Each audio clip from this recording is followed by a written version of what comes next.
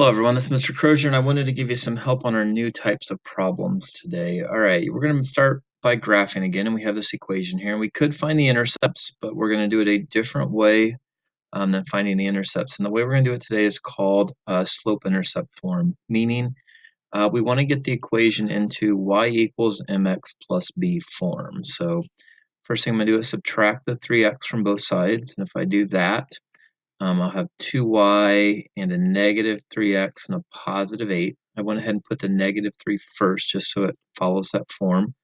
Then divide everything by 2 and y is going to be negative 3 divided by 2. It's going to be best to leave it in this form, um, plus 4.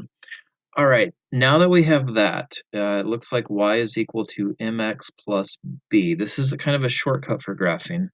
Um, we, we can graph real easily by just doing two things. First, doing the intercept, the y-intercept. And the y-intercept is, what if x is 0, what's y? Well, plug in 0, negative 3 half times 0 is 0, plus 4 is 4. And it's always that value because the x will cancel this out when it's 0. So we just have 4. So 1, 2, 3, 4 is right there. So that's our first point on the graph.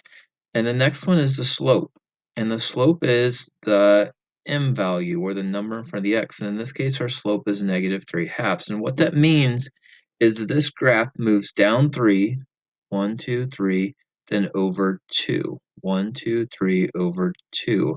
And that is the direction of our line. Sorry, it's not very straight there, but that is the direction of our line down 3 over 2. And it continues that pattern down 3 over 2, down 3 over 2, down 3 over 2. And if you want to go backwards, you can go up 3 and back 2 and up 3 and back 2. And that's the direction of our line. Um, it's a shortcut for graphing. You don't have to plot any more points. You don't have to find any more points. You don't have to find both intercepts. You find one intercept, you find the slope, you're done. And again, you can go back to desmos.com um, remember that website, desmos.com, and type in 3x plus 2y is equal to 8. If you plug that in, you will get that graph. All right. Hope this helps. Start your or watch the rest of the videos today.